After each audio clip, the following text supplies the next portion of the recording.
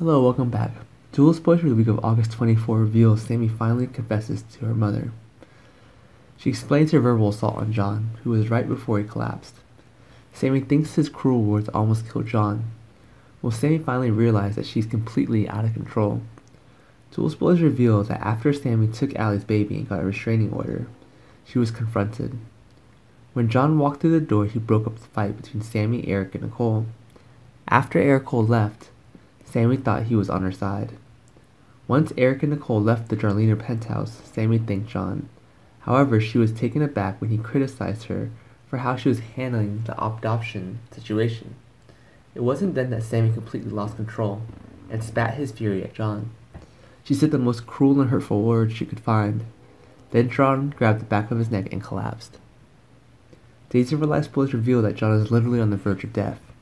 As Dr. Marlena prays for her recovery, Sami is consumed with guilt. In the last week's issue of Soap Opera Digest, Sweeney explained that Sami believed he killed Johnny. While she told Marlena that she and Johnny were talking about Allie's baby, she neglected to say that they were having a huge fight. It is teased in Soap Opera Digest New Days of Our Life spoilers issue that during the week of August 24, Sami is finally going to confess. She tells Marlena exactly what happened before John collapsed. While she's overwhelmed with guilt for John's condition, it's probably not her fault. However, will this incident scare Sami to take control of herself?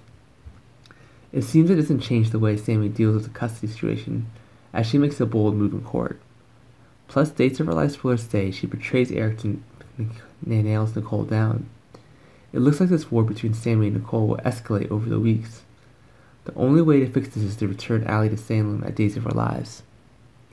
If it goes to court, then the judge will want to hear her, what she wishes in regards the baby. Thanks for watching. Goodbye and see you again.